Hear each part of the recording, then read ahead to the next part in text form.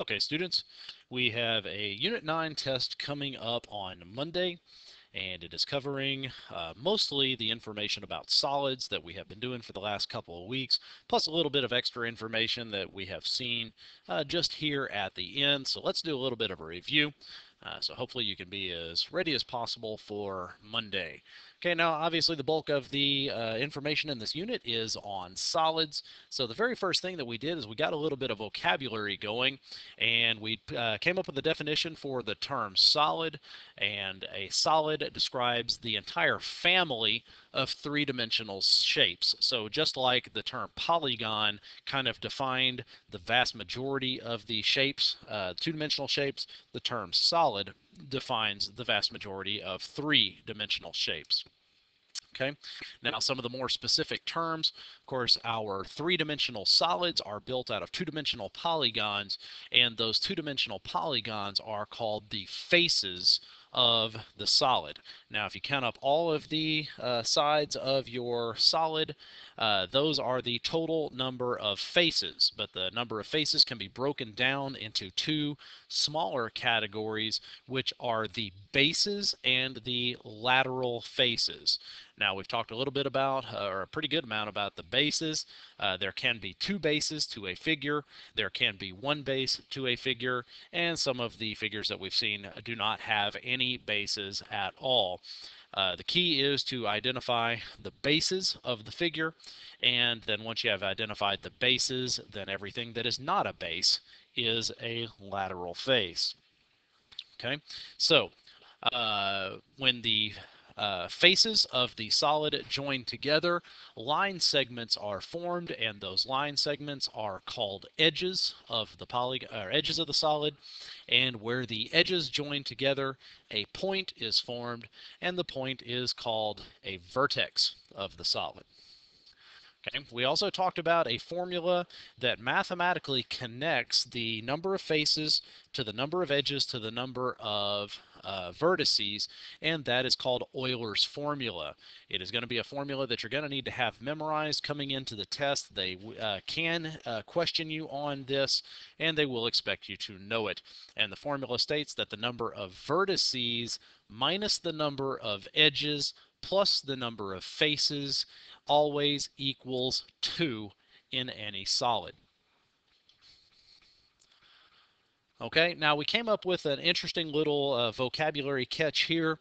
If your figure only has one base, okay, in the, uh, the idea of a pyramid or a cone, Okay, uh, if you only have one base, then across from that base is going to be a single point where a bunch of lateral faces or a single lateral face kind of converges upon itself. Okay, so the figure kind of just tapers away and becomes a pointed end. When this happens, that particular location is referred to as the vertex of the solid. Now, it's not to be confused with the other uh, vertices of the solid. Okay, every corner point on your solid is a vertex, and if you add them up, you have a total number of vertices. However, there is only one location in the figure that may be called the vertex. Okay, so uh, make sure you, you have a clear understanding of the difference between the number of vertices and the location of the vertex. All right, uh, if you do not have a position in your figure that can be called the vertex, meaning the figure does not uh, taper away into a single point in a particular location, then chances are you're looking at a figure that has two bases rather than one base. And uh, you can confirm this suspicion by looking at uh, the nature of those two bases.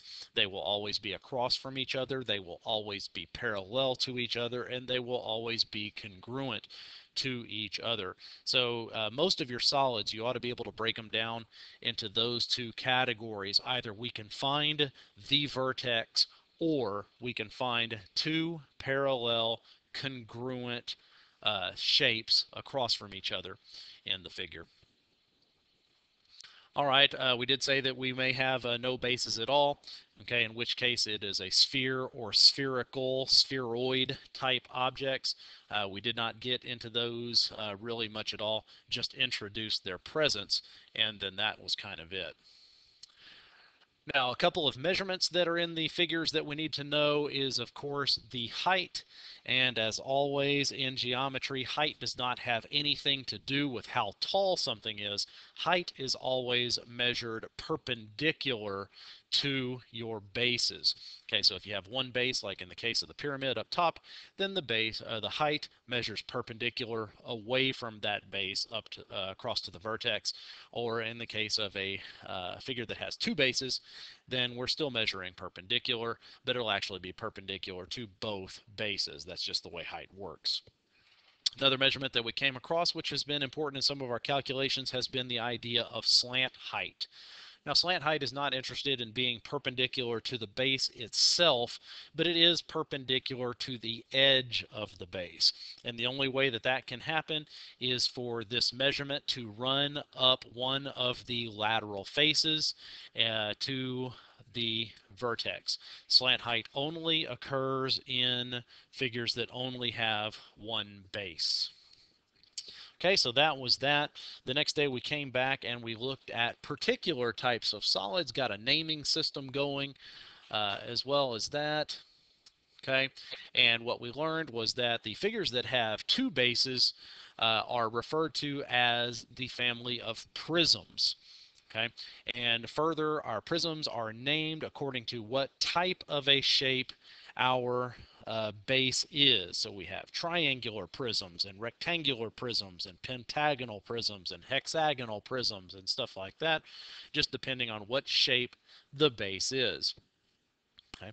If our prism happens to have circular bases, we don't technically call it a prism anymore. It is a prism, but we call it a cylinder is the more specific name. And if we happen to have a rectangular prism that has all of its faces being squares, we don't call it a rectangular prism anymore. More specifically, we call it a cube. Now, if our figure only has one base, this is the family of pyramids. Okay, and once again, the pyramids are named also according to what kind of a shape their base is. Okay, so we have triangular pyramids, rectangular pyramids, hexagonal pyramids, and so on. If our uh, shape of our base for our pyramids happens to be a circle, sure, it is still a pyramid, but more specifically, we call it a cone. And of course, if our figure doesn't have any uh, bases at all, probably it's a sphere. But as you probably suspect already, uh, there are spherical type objects that are not perfectly round. Okay, they're called spheroids, but we haven't really gotten into that at all. Okay, so we just kind of introduced the idea of a sphere and left it at that. Okay, so that was the end of that lesson. Okay, so after all of the vocabulary was done, we got into some of the mathematics dealing with our solids. And the first calculation we looked at was surface area. Okay, now surface area, the technical definition that I gave you, is the amount of stuff required to uh, cover a solid. Okay, now um, in this aspect, what I always tend to think about is like a, a, present. If you're having trouble remembering the difference between surface area and volume, which I, th I think most people have got it down, better remember surface area is the wrapping paper around the present. Volume would be the present itself. Okay. Now, um, I'm actually on the wrong lesson here. I've got them in, in backwards order. Uh, the first one that we did was prisms. We're looking at the pyramids right now. Uh, pyramids had a formula that went along with them. The formula was 1 half times the perimeter of the base times the slant height plus the area of the base. Okay. Now this has actually been simplified a little bit for us because uh, all the pyramids that we have seen have been regular polygons on their bases. Uh, so we haven't had to worry about really any any crazy shapes going on with our bases. And I have no reason to suspect that the test will be different. Uh, any surface area calculation should have a regular base on your pyramid. Okay, so basically this was a step-by-step process walking through simply plugging numbers into the formulas and in some cases you might have been missing some information to plug into the formula but in which case we employ uh, much the same strategies that we've been using all along. Let's build a right triangle, allow that right triangle to attach itself to whatever measurement it is that we're missing and then you can use things like Pythagorean theorem to find a missing side length, or SOHCAHTOA to find a missing side length, or maybe even the 30, 60, 90 or 45, 45, 90 rules to find your missing side length. You can plug in your information and you're pretty much good to go. Okay, now here's the surface area that I missed a moment ago, or the uh, prisms. Okay, there was the definition, the amount of stuff required to cover a solid. Uh, the strategy on this one is a little bit harder Okay, true enough, uh, you can't. There are a few formulas that do exist for surface area, but they change pretty radically according to what kind of a shape that we actually have, uh, what type of a solid we actually have. So I kind of gave you just an all-encompassing uh, strategy, which is to look at the net of the figure. And of course, a net is the uh, the term that describes if you take a three-dimensional solid and you allow it to break apart at the edges and allow all of the faces to kind of collapse down onto a flat surface so that we can see them all uh, side by side on a two-dimensional surface rather than a three-dimensional drawing. That is what we call a net. Then we can transfer the information, uh, the measurement information from the solid that we had to the net that we now have. And then using that information, we probably ought to be able to figure out the areas of all of the different uh, polygons that are in the net. And as we saw, uh, some of the areas end up being redundant. We see the same area in more than one place. You can find all six different areas if you want, but if you're paying attention, you might realize that, hey, some of these areas are, are repeated, so you can find them once and uh, simply multiply by how many times you have that area, and then you add them all up. Okay. Uh, the only other one I want to take a look at is, of course, um, where is it? There it is, the cylinder. Okay, some people still have a little bit of trouble uh, envisioning the net of a cylinder. Remember, when you take a cylinder and you break it apart it is its edges, okay, the two circular bases can pop off of the top and the bottom of the cylinder rather easily. But what about the lateral face? Well, we kind of have to cut it open and unfold it. And when you do that, you end up with a rectangle. So the net of a cylinder is two circles and a rectangle. And remember that the length or width or whatever you want to call it of this rectangle is exactly long enough to reach around the circular base exactly one time. So that would be equal to the circumference of the circular base. So if you have to do that calculation, remember that it's going to be 2 pi r for the circumference of the circle to match this length of this rectangle. Okay, the next calculation that we got into was dealing with the three-dimensional part of the solids, which is, of course, the volume. Now we're not looking at the, the wrapping paper on the package. Now we're looking at the package itself. Okay, so volume is the amount of stuff required to fill our solid. And these guys, when you're dealing with a prism, Okay, we have a formula. Volume equals big B, little h. Big B represents the area of the uh, shape that is the base of our prism, and then multiplied by the height of the prism itself. Now, this is very important on your prism. You better be able to identify which side is your base, because if you get this one wrong, it may very well uh, bring you to an incorrect answer for your volume. Okay, so area of your base times your height. So figure out which side is your base, find its area, and then multiply by the height of the prism. The rest of the lesson was just examples. Okay, the next day we went on and looked at the figures that only have one base, the pyramids. Okay, so we, once again, we have a formula. It's very similar to the formula for prisms. Okay, only if you only have one base, we end up with exactly one third of that formula. So our formula is one third times the area of the base times the height. Now in a pyramid, it is almost impossible to get the base incorrect, we ought to be able to identify which side it is uh, with pretty much 100% accuracy. Let's find the area of that base and then multiply by the height of the pyramid. Now be careful, this is the actual height of the pyramid, not the slant height. So if you're having trouble between the definitions between height and slant height, you probably need to go back to your vocabulary and look that up. Okay, once again, the rest of this lesson was pretty much examples.